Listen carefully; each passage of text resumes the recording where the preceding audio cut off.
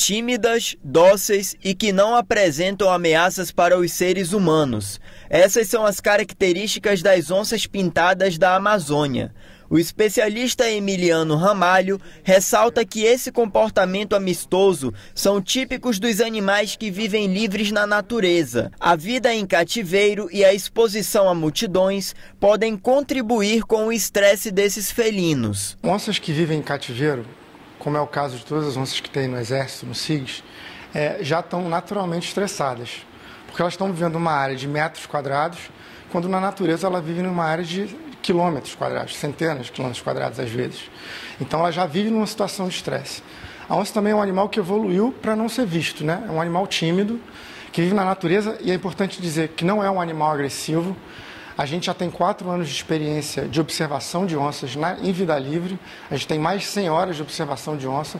Em nenhum momento a gente se sentiu ameaçado. E a gente está falando de avistamentos a cerca de 10, 15 metros de distância, até mais perto que isso. E foi justamente esta combinação de fatores que podem ter desencadeado o comportamento agressivo da onça Juma, que após participar do revezamento da tocha olímpica em Manaus, fugiu da jaula e mesmo sedada atacou um militar do Centro de Instrução de Guerra na Selva, o SIGS, sendo abatida por medida de segurança com um tiro de pistola.